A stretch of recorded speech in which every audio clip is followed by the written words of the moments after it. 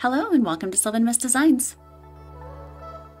I have today a plain white card that is 15 by 10. I purchased a set of 30 cards and envelopes, but you can use folded cardstock, no need to purchase these. I'm going to be using Apple Barrel's Fruit Punch Pink, this tropical orange, and DecoArt Coral Blush for my three base colors. The heart that I've drawn is 8 centimeters by 8 centimeters. Now for the initial dot, I'm going to start with a size 8.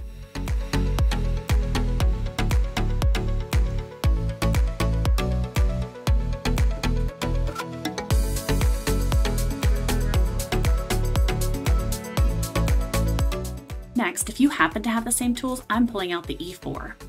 This is the one with the flat head that creates oval dots. If you don't have this tool, try small swooshes or painted lines if you want to duplicate this. I'm going to lay down six of these ovals here in pink.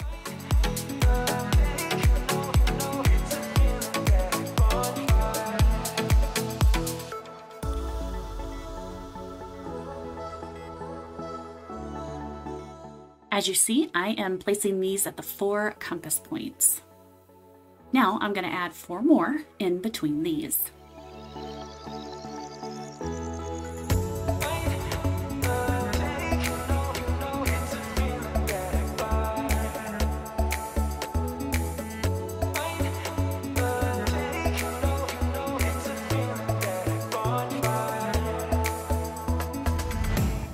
Next is the 1.5. Here, I'm gonna do a set of two walk dots in between each of the E4 ovals in this coral color.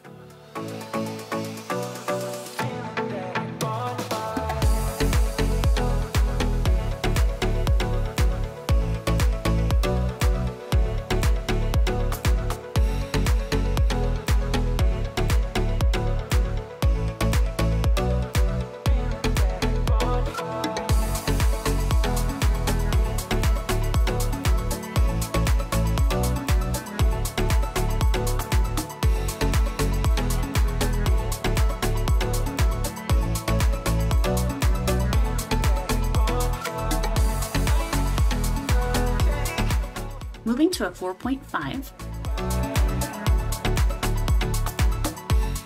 Place a dot again on the four compass points.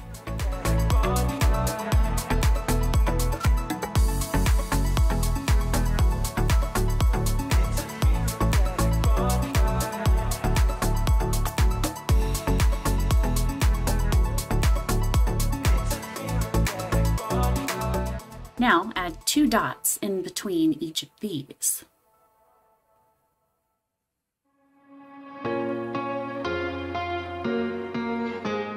Two dots should fit nice and even between these two, provided you're using the same tool or size.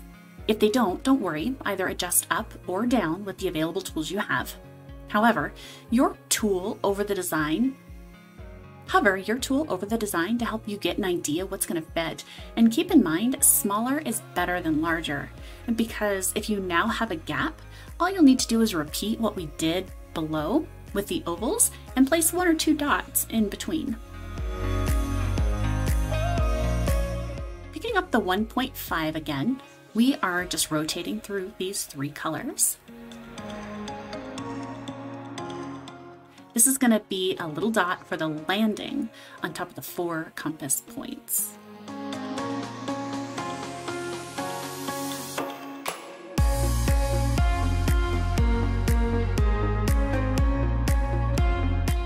For this one here, it's going to sit in the crook of the two dots versus putting it directly on top of the one in the prior row.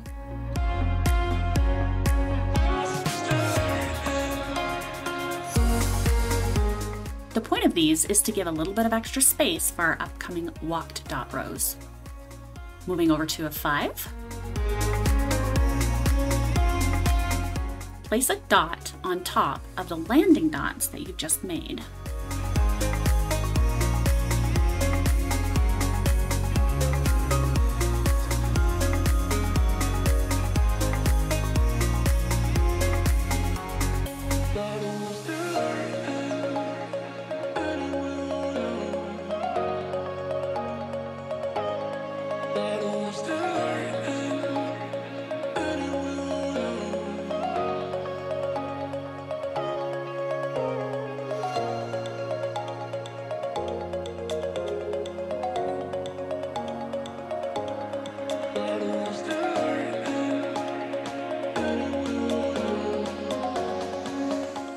Onto a 2.5, place a dot on top of each of these prior ones.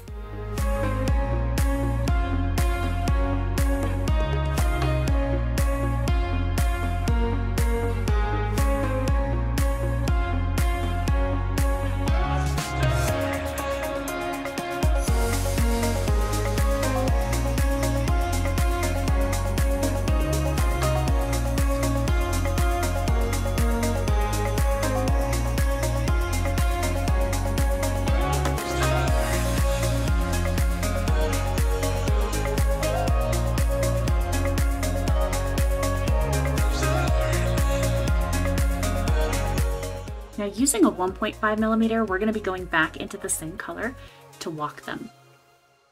Ideally, you should be able to fit about five dots along each side.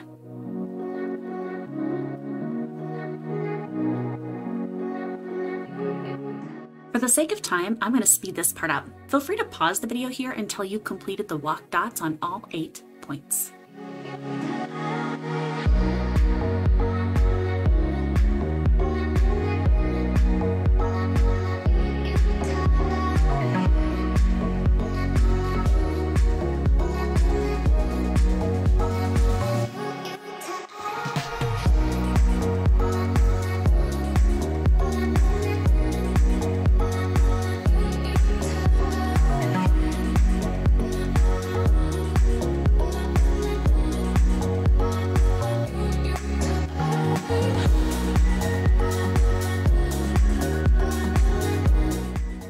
To change it up a bit, let's go back to the E4.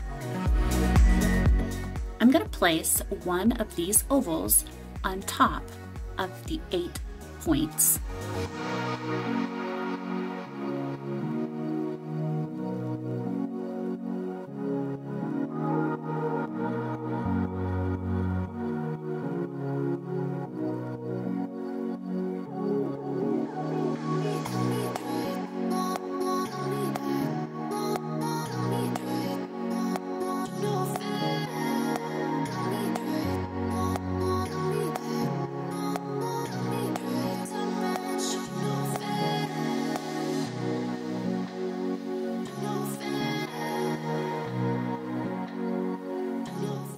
Moving on to a 2.0 for the next set of walk dots, you should be able to get about seven dots here.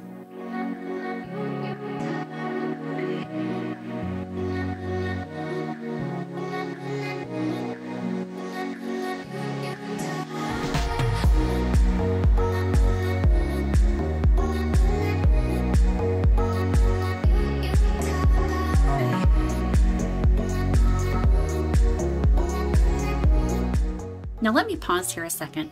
These tools are less and less effective at walking dots the larger the size. Although we want to get seven dots in, some of these I'm only gonna place four, and watch what happens when this set is complete. Again, in the interest of time, I'm gonna speed this part up. See you back in a bit.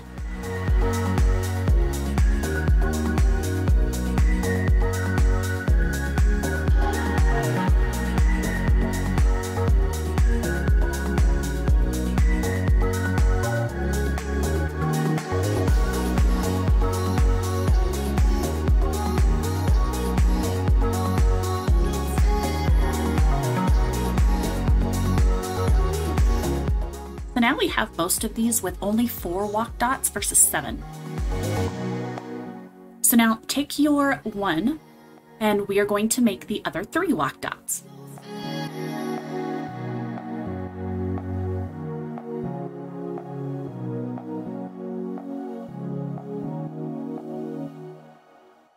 I'll speed this up. Be back shortly.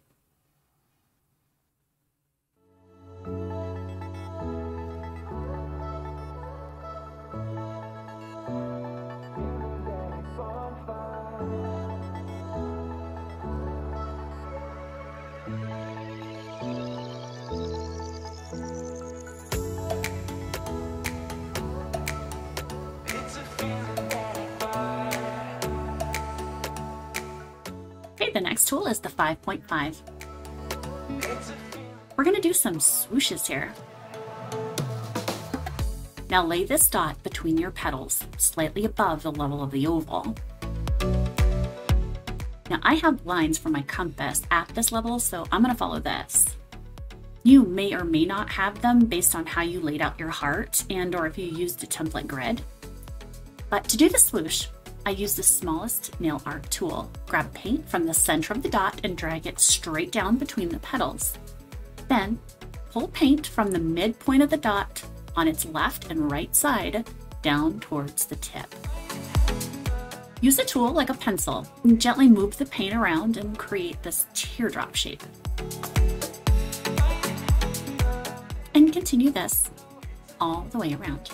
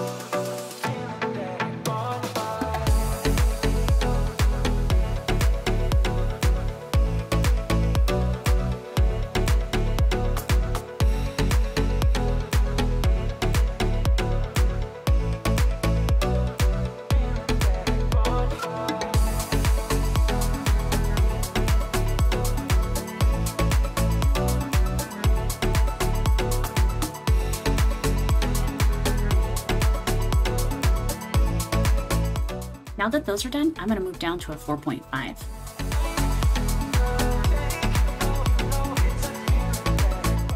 To do the next set of swooshes, place this dot in the gap between the oval and the swoosh.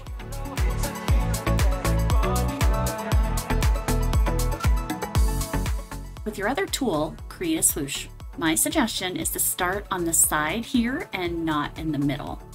Move the paint along the edge of the walk dots and the edge of the swoosh and then fill in the center, sort of like coloring.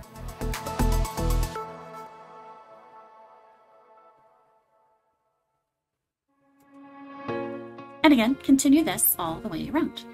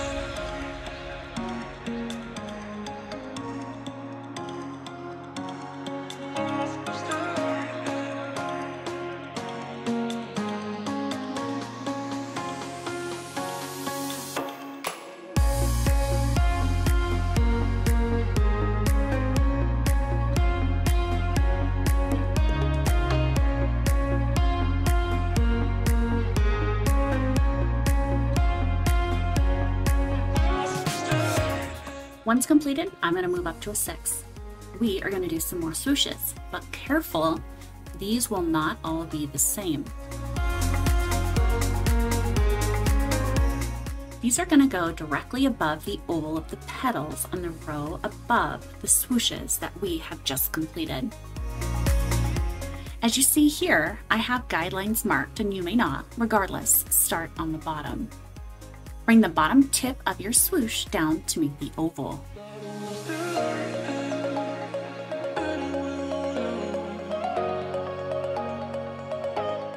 Now do the top corners, the north, east, and northwest sides of the compass.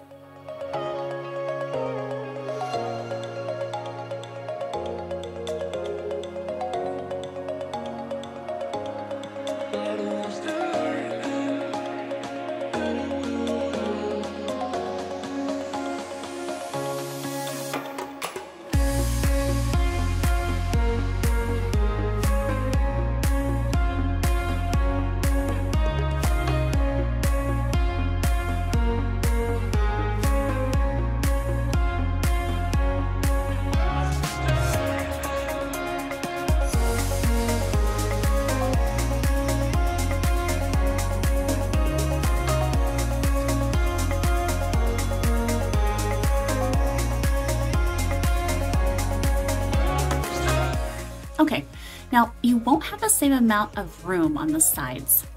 Place your dot up against the outside edge of the heart shape for the east and west sides of the compass. Simply make a shorter swoosh here.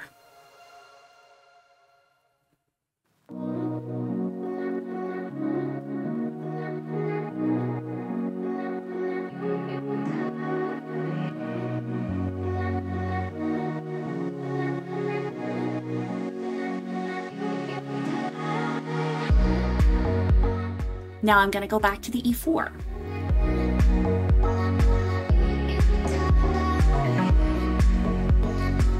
Place an oval on the top of the larger swoosh.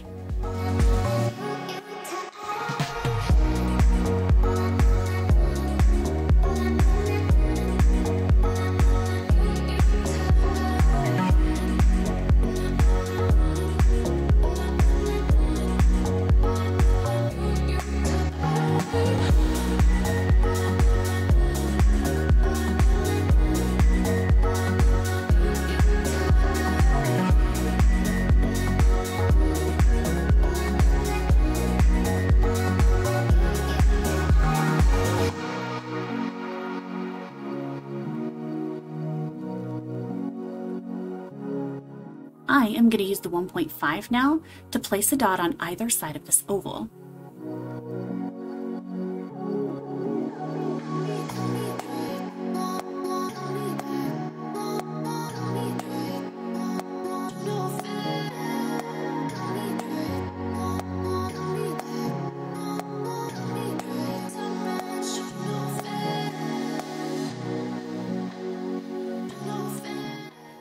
Switch to the 1 to finish the walk dots, just on the top curve of this swoosh.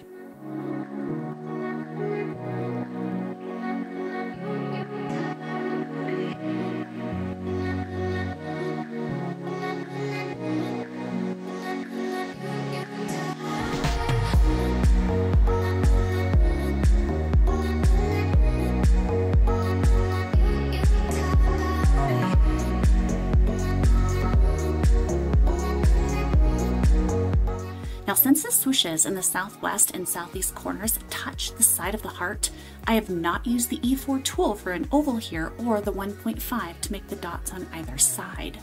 Instead, I've just used the 1, starting at the edge of the heart, to make the two walk dots along the sides.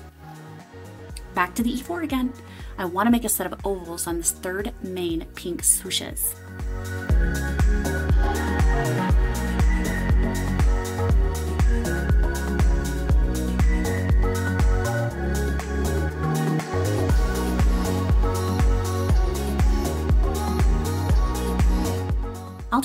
Here as with the other ones and place a dot on either side of the E4 oval.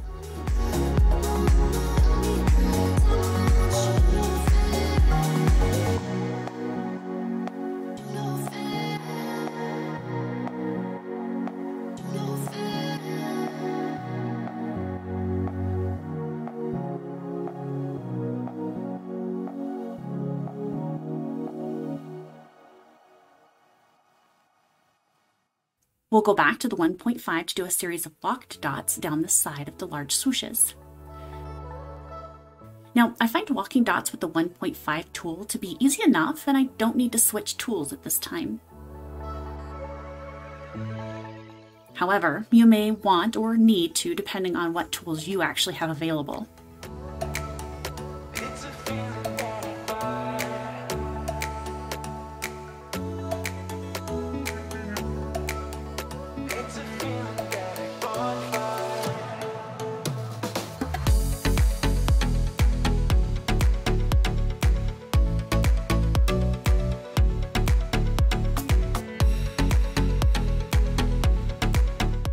For the swooshes on the east and west side of the compass, repeat the process from the set below.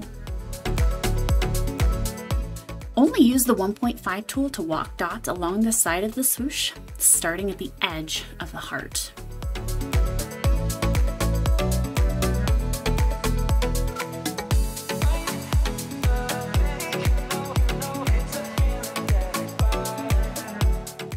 Decided to take the one tool and make another set of walk dots with the smaller orange swooshes as well to create a kind of crown over them.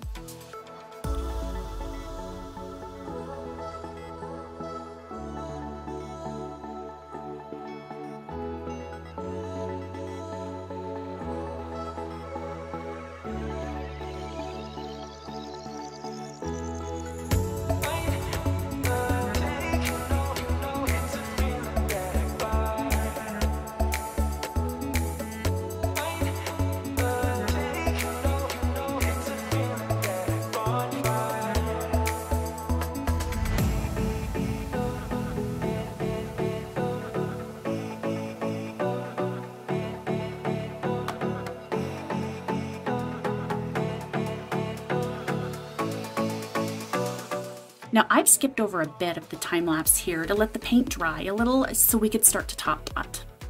Now do not try to do this while your paint is still wet. They will not come out properly.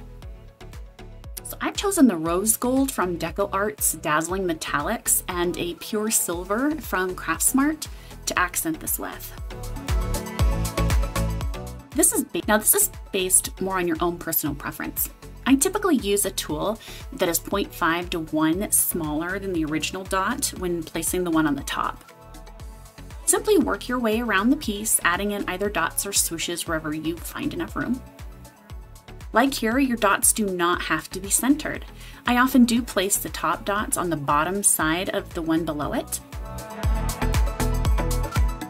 This is easier for beginners because a lot of times it takes the pressure off of having to find that perfect center. And if you don't make the perfect center, this prevents your piece from looking a little wonky if that gets messed up. Now feel free to use either lighter or darker shades of your original color. Go for metallics or pearl paints to give that a nice shine, or even completely contrasting colors to bring a different kind of depth to the piece. This is really where you can just have a lot of fun.